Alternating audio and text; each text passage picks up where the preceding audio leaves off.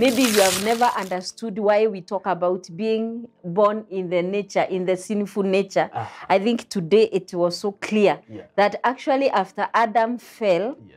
the children he got, he got in his own nature, Yeah. not the nature that God had made man. Jesus says, I am the way, I am the truth, and I am the life. So that means in before that there was a life, but that life was not so serious. Before that, it's not like everyone else was lying. No, but now the reality that has now come is more real than the physical.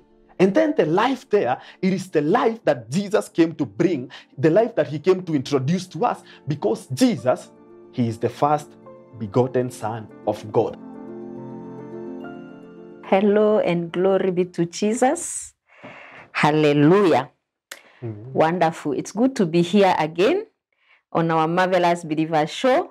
This is a show where we teach and discuss and learn what Christ has done for us and who he has made us. It's always very nice to be here. It's always excites my heart when we come here because I always know there is a word for us. I always, my heart is expectant. And even today, my heart is expectant. Every time I come to this show, I know there is a word. It cannot leave me the same, and God will speak to me. Something new will be triggered in my life. There is something new that I will learn. That is why we come to the Marvelous Believer Show every Monday, and we are on YouTube. In case you've missed any of our shows, you can always go back and find it. And uh, as before we go to the word, I want to encourage you to share this link with someone, with a loved one, with someone that you know, because the word as is spirit and it's life. It will always change someone. It will always help someone. It will always uh, be an asset or an increase to the kingdom of God. This is the Marvelous Believer Show. I'm your host, Lucy Lepore. And thank you for finding time to tune in and to be with us and to fellowship with us. Uh, we really, really do appreciate. As we go to the Word of God, I just want to to uh, give us some food for thought.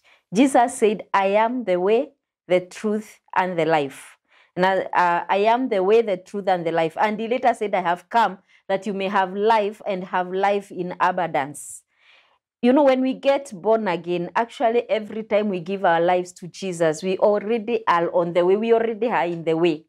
But there is need. That's why we come every time and we learn more because there is need to even know the truth. It's not just about being on the way. There is need to know the truth and have life because He came that we may have life and have life in abundance. But this life in abundance, we arrive there when we have got on the way, known the truth and entered into life. There is a realm that is called life in abundance. And it is our desire that we all get there and we dwell there and we understand that we are there and we live it to the maximum. He said, I have come that you may have life and have life in abundance. So as we continue learning and fellowshipping and enjoying learning the word of God, we desire that we may reach a realm that is called life in abundance. There is something like that. And that's our desire, marvelous believer. So tonight, again, uh, we are excited to be here, and I'm not alone in the studio. I am uh, with a minister of the gospel that is no longer, I wanted to say a guest, but I think he's no longer a guest to us. We know him, we've been with him several times. Minister Bonnie Glorious, he's a teacher of the word he has an interesting passion for the word of God. And I'm always so honored when we are able to bring you uh, Minister Bonnie Glorious. It's always a honor. And uh, we appreciate God for you. We appreciate what He is doing in your life. And I want to just allow you to take over so that you can teach what God has put in your spirit. Amazing. Thank you so much, Pastor Lucy. It's a great blessing. It's an honor to be here again. Yes, I'm no longer a guest. Marvelous Believer is my hope, and that name defines me. It defines everyone who has believed in Christ, and it's so big and it's happening. It is so amazing, and we, we can't cease thanking God for everything that God is doing in your life, Pastor Lucy. Uh, you know, there's a time God promised that He will give us pastors according to His own heart. so Wow. God, God looks for people. He places His heart in them, and then He allows Himself to live through them. So that is what the Lord has done. And Marvelous Believer is not just hosted by a beautiful woman; it is hosted by God Himself. in a, in a, in a body. And so, allow me to pray before we, we proceed. Thank you, Lord. Thank you for your love for us. Wow, it is so amazing. Thank you for all that you have done for us. You took us and you have brought us into the abundance which is in Christ Jesus. And today we come and we are here to grow into what you have already done in us, our Father. We no longer need to remain in the way. We have come to the realm of life, and that is where we are reigning in. Thank you, Lord Jesus for your word. It is so marvelous. Thank you for the listener. Thank you for everyone who will ever tune into this. And I know it is going to bring an understanding to them. Thank you for using a language that we will understand. In Jesus' name, we give thanks in prayer. Amen. Amen. Amen. Amen. And with your permission, uh, allow me to go to the word. Uh, there's a wonderful thing that the Lord has placed in many of us he has placed in the body of Christ. God, in his own infinity, he wants us to understand something about his own about his own plan, his own everything that he has done inside the word of God. And when you study the Bible, the Bible is a book of life. The Bible is having one subject all along. When you study from Genesis, when you go to Exodus, when you go to Leviticus, when you go to all the books in the Bible, first of all, in what we call the Old Testament, what we call the historical events that took place when Jesus was here in the body, and what happened after his death, his burial, and his resurrection, there is something that is so common all along the whole Bible, and that is about salvation. Praise the Lord. And salvation goes beyond believing in someone who is up there. It goes beyond believing somebody who we have been told that he came inside our life, going beyond the, the, the normal mediocre life, which have been so downcasted, called the Christian life. But it's not so low. It is it goes beyond what we know as the Christian faith. Praise the Lord.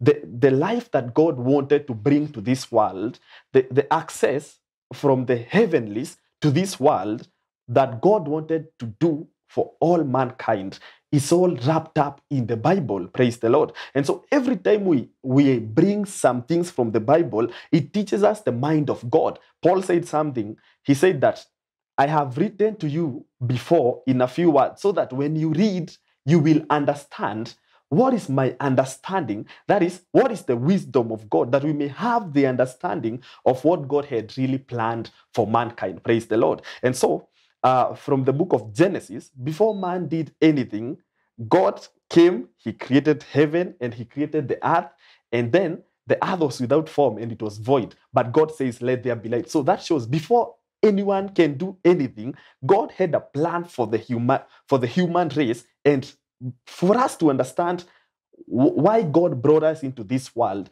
why the world is the way it is today, why the world had to receive a savior from heaven to come and bring salvation, we have to go back to King, to the King himself, for us to understand what was his original plan from the beginning. Praise the Lord. And so today, we are going to go around something we've talked here before about sonship that we have received. Okay, so uh, when we read the the first verses in the historical events of Jesus Christ. That is in the book of Matthew, in the book of Mark, in the book of John, and even Luke. There is something that is so notable. He begins by writing the genealogy of Jesus from Jesus all the way back to Adam. Okay? So God begins the entering or the ushering in of our Lord Jesus Christ by a genealogy which was from Jesus going head way long mm. back to Adam. Praise the Lord. And then from there, in the New Testament, when every other epistle is beginning, there is no genealogy. Praise the Lord. Because God had a certain plan, He had a specific plan, and there is something that God did after Jesus landed in the scene.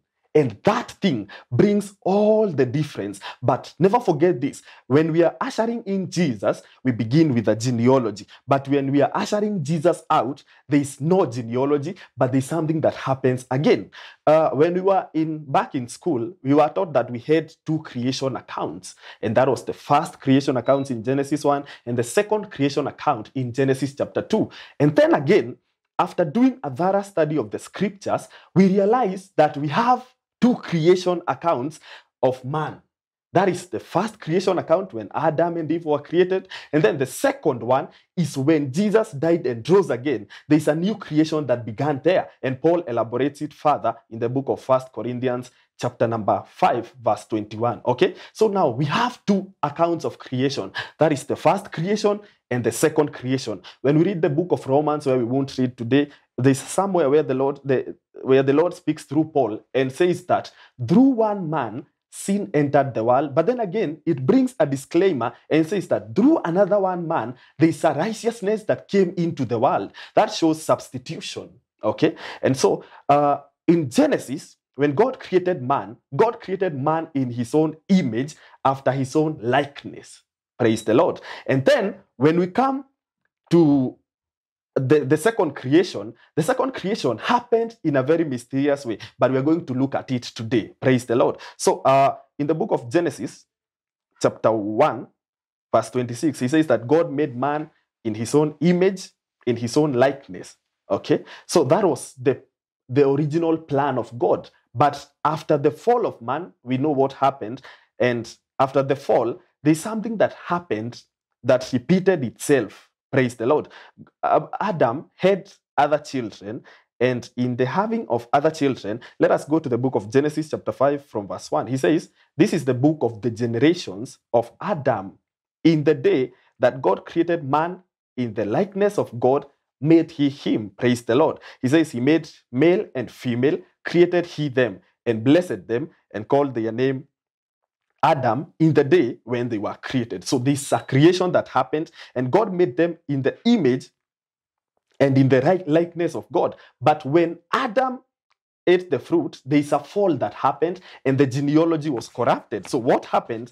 And verse number three, and Adam lived a hundred and thirty years and begat a son, now not in the image of God, not in the likeness of God, but in the likeness of Adam himself. The King James says, And Adam lived 130 years and begat a son in his likeness after his image and called his name Seth. So there's a there's a likeness and an image that followed the one that God had made them in his own image and likeness. We say that all of us have been made in the image and the likeness of God, right? But now the image there is not physical because there are some people who are lame since childhood, but they are not in the image of God. So there's another image that God made man in his own image, which now it happened in Genesis chapter 1. Okay? So after God made him in his own image, then man was deceived by the devil and the fall happened. And so there's a fall that happened and man fell short of the glory of God.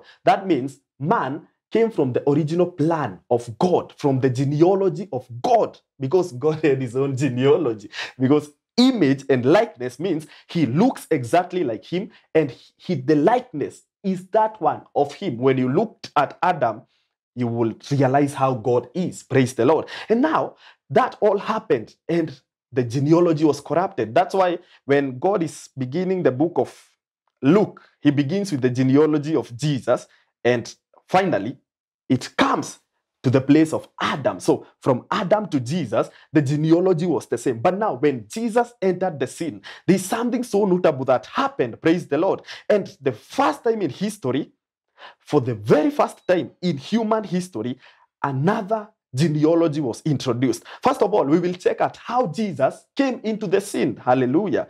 And see the plan of God for salvation. Because again, we cannot define salvation only from the perspective of sin. Again, salvation has something to do with the nature that we have, with the life that we live. It has something to do with how we live life, how we view life, our own nature, how we are, what is our substance. When you come and lay a hold of our nature, who are we?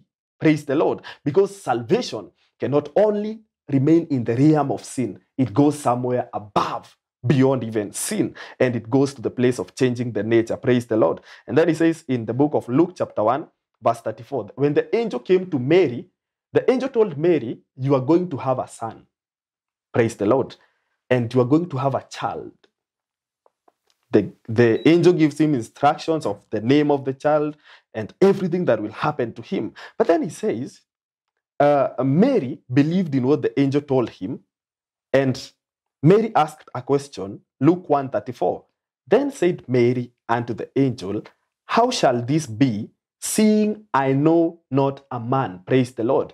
In all humanity, we have been told that for one to bring a child, there must be a correlation between a male and a female. Praise the Lord. There, there must be her, there must be the presence of a man and a woman for us to have a child. Amen. But now, there is something that is changing here. The angel comes to Mary, says to Mary, You are going to have a child, and that child is going to come from you. But then Mary questions it. How, how is it going to happen, seeing that I know no man, that I've not met with any man? Then the angel says, because we, we know the nature that comes only by birth. Praise the Lord, where the father and the mother is related. But now there is a difference that is coming in our place. He says, And the angel answered and said unto her, The Holy Ghost shall come upon you, and the power of the highest shall overshadow you. Therefore, also, the holy thing or the holy child which shall be born of thee shall be called the Son of God. Praise the Lord. Wow. For the first time in the biblical history, there is a change in the way things happen. The first mention of the, of the word Son of God is mentioned in the book of Luke, chapter 1, where the Son of God is coming to action. This has never been had. That's why salvation sometimes is not easy to explain to us who have been in who have been studying science, biology for all that long. Praise the Lord. But now when, when the word of God is bringing this subject, he is teaching us that now there's a new way of bringing up sons. Praise the Lord. And this son is when the Holy Spirit comes upon you, and then he will overshadow you, and then you will be filled. And in the filling, you will conceive a son. So a son here is conceived when the Holy Spirit comes upon Mary, and then Mary, in her own self, she, she conceives. Praise the Lord. And then a conception happens. Praise the Lord. And in this place, uh, the, the, maybe someone can say, no, that cannot be possible. But then, jumping to verse 37, he says, For with God, nothing shall be impossible. Praise the Lord. Maybe with us, we have never seen something happen of that sort. But this time round, it is happening. And it is happening in the genealogy where Adam had it in past, but now God is bringing something new. God is promising a son, and that son comes through Mary. Praise the Lord. And that is where we, are, we, are, we have just begun the place of defining what it really means to be saved or to have salvation. Because salvation goes beyond a normal human being believing in God, praying every day, sharing the gospel. Then afterwards, we will rest, and then we will wait for the Messiah. we will wait for the Lord to come. Praise the Lord. It goes beyond that. The normal human life.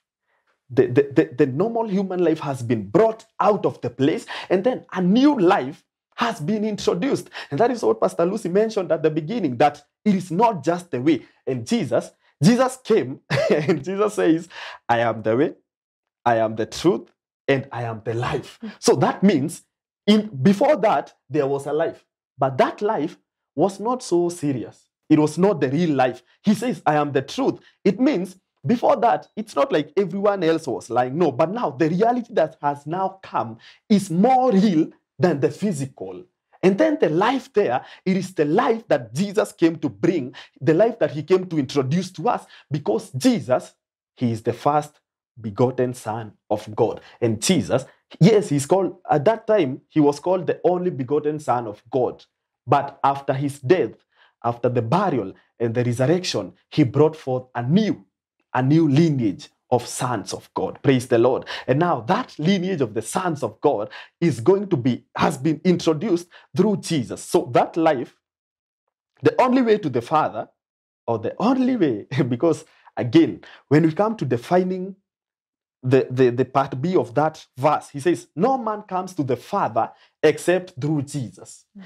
It, is, it goes beyond just the place where uh, we see Jesus is the only using his name in Jesus' name. When we pray, we must use the name so that the Father can answer us. it goes beyond that. It goes to a point of believing that Jesus is God who came in a flesh. Praise the Lord. And then when he came in the flesh, he also introduced us to a certain life because uh, the beginning now of the Christian life, the end of Jesus or the end of Jesus' life in the body was the beginning of another life of other men who reigned in this life like Jesus did. We are speaking about the sons of God. We are defining the sons of God. For us to understand the sons of God, we have to understand the first son of God. Praise the Lord. Like when we used to study back in high school, for you to understand biology form 4, you must go through biology form 1 to understand the definition, what it meant. Did they have branches? And so now, for you to understand the form 4 part of it, now for you to understand who you really are in Christ, for you to understand what it really means to be born again, we have to understand about the Son of God. So uh, maybe as we come to a close, there's something that somebody came and found Jesus. Now, Jesus has grown up in the body and he's been in this world, and the way he used to live his life was not ordinary. Praise the Lord. He has introduced the life of the sons of God. He has showed us how sons of God rule in this world. Praise the Lord. And it's good for us to understand what it means to be a son of God. He says in John chapter 3, verse 1, uh, there was a man of the Pharisees named Nicodemus, a ruler of the Jews. The same came to Jesus by night. And then now the, we will take it from the comment of Nicodemus. Nicodemus says, when he came to Jesus by night, he says, We know that you are a teacher come from God, for no man can do these miracles that you do except God be with him. Praise the Lord. So now, when the Son of God came to the scene, when other ordinary people observe his life, it is not normal. No man has ever opened a blind eye before Jesus came. But now this man came and he opened a blind eye. No man has ever raised okay, there is a man who raised a dead person in the Old Testament, the likes of Elisha and Elijah. But now, this man, he's doing it in a very ordinary, in a very normal way. And then now, Nicodemus asks him, uh, gives a compliment to him. He says, No man can do these things except God be with him. What did it really mean? It meant that no man can do the things that are happening or the things that Jesus used to do unless his, his nature of life or his genealogy was different. Praise the Lord. And in answering that, he ushers us into the new the newness or the, the new kingdom that was to follow. He says, Jesus answered and said unto him, Verily, verily, I say unto you, except a man be born again, he cannot see the kingdom of God. So before when Jesus was being born, he is introduced to a genealogy, and then that one was the first birth. So Jesus went through the whole place of being born and then being born again, being born of God. Praise the Lord. So when the genealogy ends, he begins a new one when the Holy Spirit filled Mary and then he was born. Praise the Lord. And then when he was born, he says, No man can experience the kingdom of God, or no man can demonstrate the kingdom of God except that man be born again. He cannot see the kingdom of God. Praise the Lord. That is to observe the kingdom of God working in his life. Nicodemus said unto him, How can a man be born when he is old? Can he enter a second time into his mother's womb and be born? Jesus answered, Verily, verily, I say unto you, except a man be born of water and of the Spirit, uh, he cannot enter into the kingdom of God. Then, verse 6 is where our emphasis is. That which is born of flesh is flesh, and that which is born of spirit is spirit. So it we were born of flesh, but then again, there's a new birth of the spirit that came when we believed in the gospel. When Mary believed the good news that came through the angel, this specific thing happened to her. So for us, when we believe in the gospel, the good news that came to us through the teaching of the gospel, that is what exactly happened. The Holy Spirit came upon us, or He entered us, and He regenerated. Regeneration means to change a genealogy. uh, that, that one is seen in the book of Titus. Uh, in the book of Titus. Praise the Lord. Hallelujah. If any man has believed in Jesus, he is born again. And that birth has happened by the virtue of the Holy Spirit and by virtue of believing in Jesus. In the book of Titus, chapter 3, from verse 4.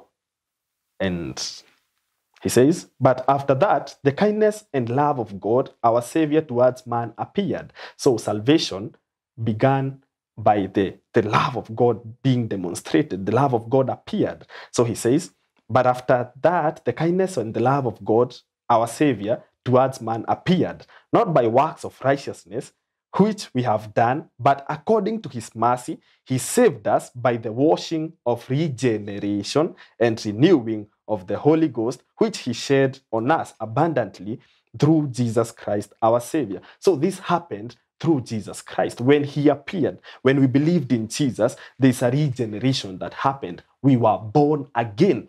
A genealogy was changed. It is, yes, you have a father and mother, but your nature has been changed. You have been born again. And in that born again, you have been made a son of God. Hallelujah. So you and Christ, there is no big difference. You have been made one with him. And so when God looks at Jesus, his son, and then looks at you, you too look alike to him. And what Jesus did, even Jesus said, More than what I do, you will surely do, because when I go, I will not leave you comfortless, but I will send you a helper. And when the Holy Spirit came, He regenerated us. He changed the genealogy. And today we have a new person in us. You have been born again, except you are born again of spirit, of flesh, and of the spirit. You cannot enter the kingdom of God. And so, because that has happened, when you whatever you see in the word of god that is your reality it defines you and so that is what is happening yes pastor lucy wow. yeah, yeah, yeah.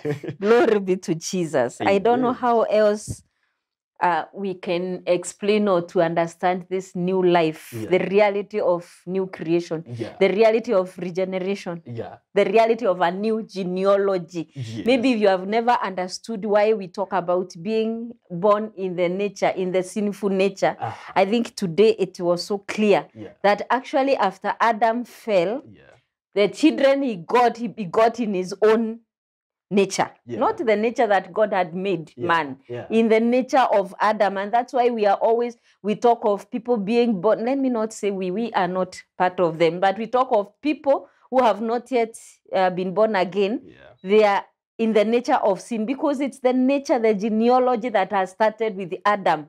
The one that started with God was corrupted another one started with Adam. But glory be to Jesus. Amen. That another one again Yeah. started with Jesus. amen Another genealogy started with Jesus. And mm. if you are born again, Paul says the old is gone. The genealogy of Adam also gets overlooked. If sin could overlook the genealogy of God, Yeah. why do we doubt that righteousness can overlook the sin, the genealogy of Adam?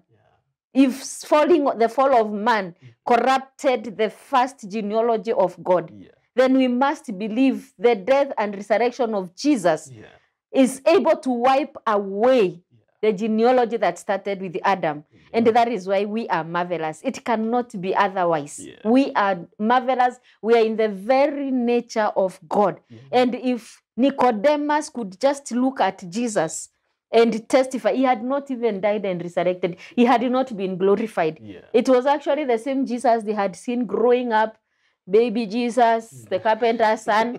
But now he was doing until Nicodemus testifies, uh, if it a no ordinary man, yeah it is not an ordinary teacher who can do the things that you are doing. yeah If Jesus did those things Yeah. and he says greater works, may our lives testify greater works. Amen. May our lives become a testimony of the new man that we have become. May our lives become a testimony of the new genealogy in mm. which we have been born. Amen. Glory be to Jesus. Amen. We are blessed. Thank you so much uh, for being with us and for that word.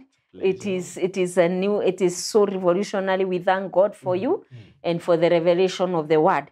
Yeah. And thank you for watching us and keeping with us. Yeah. And uh, let's meet next time for yet some more teaching. It Yeah. is always so exciting when we learn new things. They empower us, they give us understanding of exactly Yeah. what we talk about and who we are. This is the Marvelous Believer Show on Wema TV. We are always so blessed to be with you. Till next time.